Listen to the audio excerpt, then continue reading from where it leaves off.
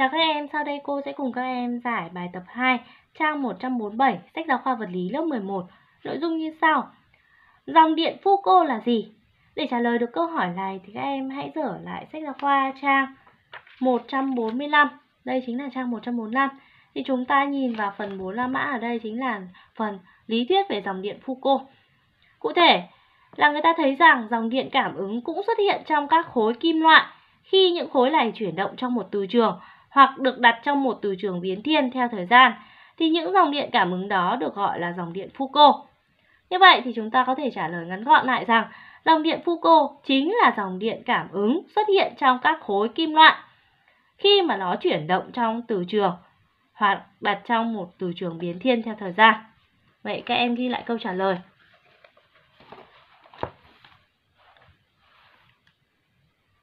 Đó là dòng điện Foucault.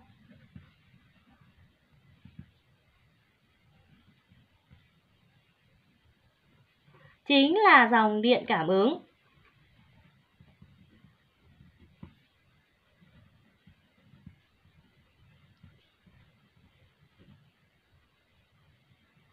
Xuất hiện ở trong các khối kim loại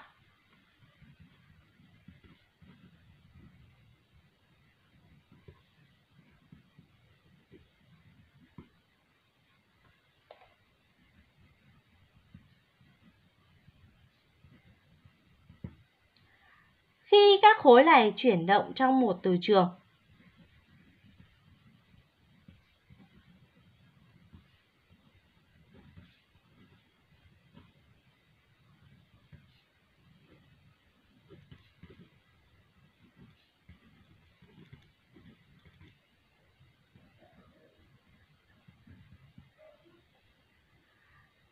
hoặc được đặt trong một từ trường biến thiên theo thời gian.